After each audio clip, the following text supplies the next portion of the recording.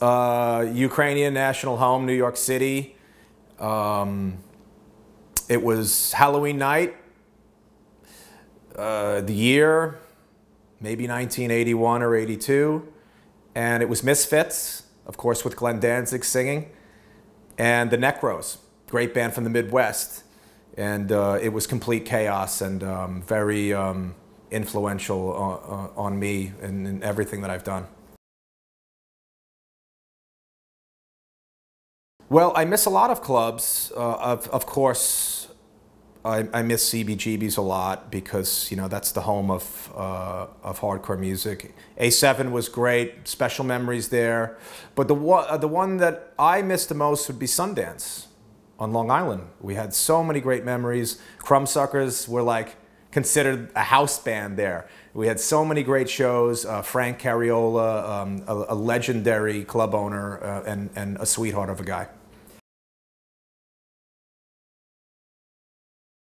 I know that um, Jimmy Gestapo was always very funny and, and animated in the pit, usually on somebody's shoulders. Um, but he was great. Um, and he would always, he was like the pit starter, you know. He would always get things going, you know, when, when, when, when things needed to get going.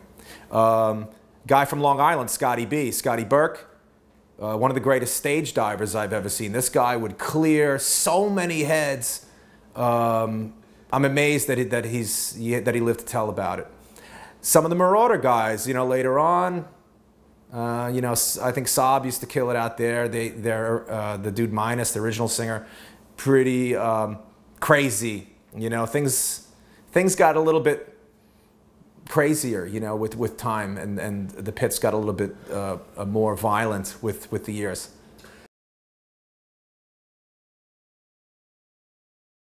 Danny from Biohazard, um, Armand. Always a my, a my style of drummer, both of those guys, because they don't overplay, but they lay down some real serious groove. Um, and uh, a tie for third, I'm going to say Louis from Carnivore and Mackie.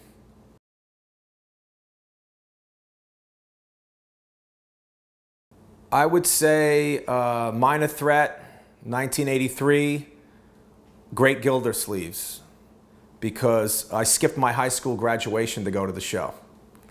Wow. I said, I'm not going to miss this because I was such a big fan. And I said, I'll, I'll, I'll get my diploma later. I wasn't worried about it. You know, who needs this cap and gown stuff? You know, we're going to go see Minor Threat and, and you know, and get real.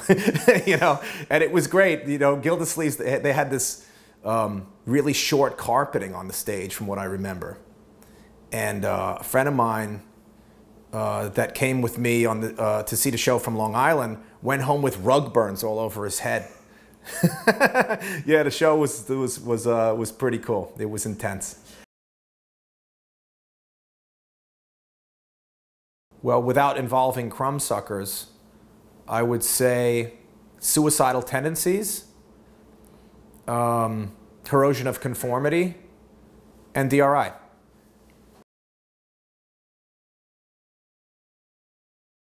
Uh, very proud of both records. Um, with Life of Dreams, um, in my opinion, being the definitive uh, Crumbsuckers album. Um, but it's one of those things where if you, it depends who you ask, you know, uh, in terms of which, which is the best Crumbsuckers record. The metalheads will always say Beast on My Back and they will defend it to the death.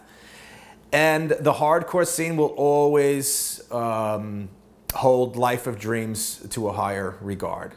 And that's all well and good with me. And that is, um, it speaks very, very well for the, for the crossover scene in general because these are, you know, we're these are two different scenes being, being sort of brought together by music.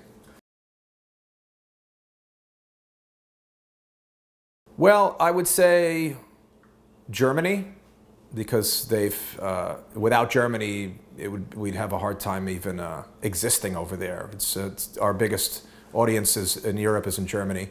Um, I love playing in the East too. I love uh, playing Serbia, um, Romania, Bulgaria, uh, Russia. Um, it's, it's great. Europe is just, just fantastic because you can literally be in a different country every day of the tour, and um, and experience different cultures, and just uh, it opens up a whole new world world for for touring musicians, and to, to be able to connect at that level, not as on the, the touristic level, is is very cool. Uh, Lemmy. Um, Brian Baker from Minor Threat. I always loved that bass tone. I said, man, if I can only get that bass tone. Um, and uh, Billy Gould, Faith No More, another one with, with a, a, great bass tone. I actually contacted him many years ago, and I said, would you mind sharing what you're using, you know, to the, to the T so I can, you know, get a similar tone? And he said, yeah, you use, I use a PV uh, TB Rax preamp, which I got like a week later.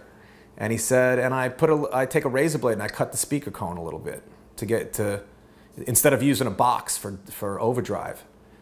And I said, I'm gonna, I'm gonna do that. And uh, I started coming up with some real kick-ass tones. And he was gracious enough to, you know, to give away his magic, you know. No, no, it's it just goes through um, its stages of in, in, incarnations, and um, it always changes. Um, but hardcore is, you know, for me, it's more of a mentality than than it is a, a style, specific style of music. So, um, you know, kids who are going through certain things in their life, and they always will, you know, and, and as, as long as the world continues to unravel at the same pace it's been unraveling, you know, since the beginning of time. There'll always be a, a, a, need for hardcore music because, you know, kids can always channel uh, their negative energy and turn it into something positive by by this thing called hardcore music.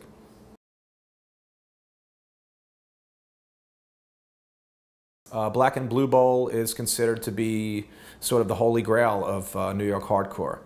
And um, we're very thrilled, you know, that uh, they invited us to play and um, that we're held in such high regard, you know, by so many people into hardcore music um, in the East Coast uh, and particularly in, in, in uh, New York. So um, we're totally excited about it. We want to be able to represent our music you know, just like back in the day. So it's, you know, we do have some work ahead of us. But um, yeah, it's, it's, it's really great. And, and if that were to be the last show, it, it would be a great one to go out on, I'm sure.